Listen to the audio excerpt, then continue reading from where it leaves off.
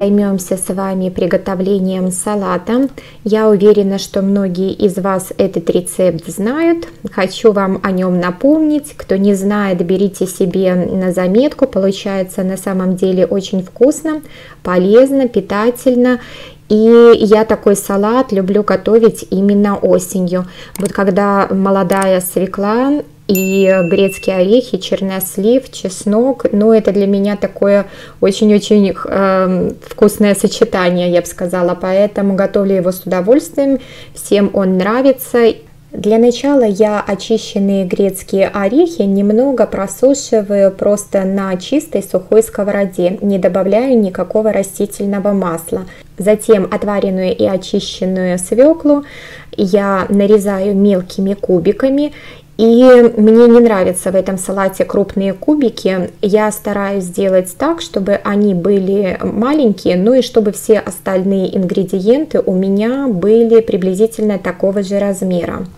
Следом нарезаю чернослив и измельчаю ножом грецкий орех, причем не сильно мельчу, чтобы кусочки орешков чувствовались. И я не знаю точно, вот сколько здесь у меня чернослива и орехов, я обычно кладу на глаз так, чтобы чувствовался и чернослив, и чувствовались орехи. Ну, а вы ориентируйтесь уже, как нравится вам.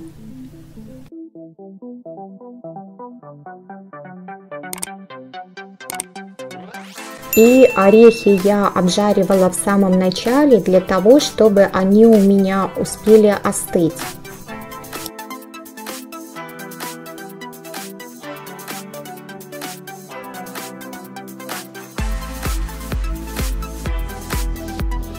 Теперь я немного присолю и добавлю черного молотого перца.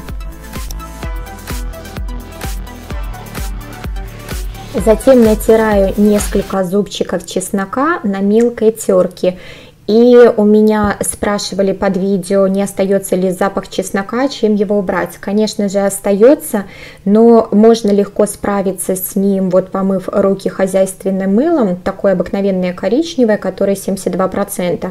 Можно протереть лимоном, можно же дополнительно еще содой. Ну, если не с первого раза, то со второго, третьего точно запах уберется. Поэтому, ну вот берите себе на вооружение, кто не знает. И при желании можно экспериментировать, заправлять либо майонезом, можно смешивать сметану с майонезом, ну а можно заправлять еще растительным маслом с добавлением бальзамического уксуса, тоже получается очень вкусно.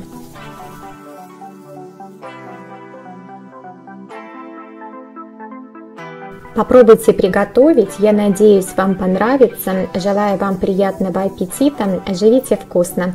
Ну а мы увидимся с вами совсем скоро. Всем пока-пока, до новых встреч!